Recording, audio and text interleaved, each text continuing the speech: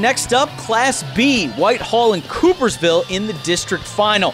First set, Whitehall in black, and a point from the win. Alyssa Meyer sets it to Julie Brown. She smashes it home and puts the Vikings up 1 0.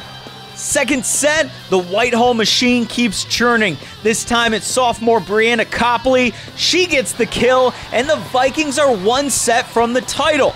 But Coopersville came roaring back. After a great dig by Whitehall, it's Lauren Helzen assisting Aubrey Hossig, and the Broncos win two straight to force a fifth set.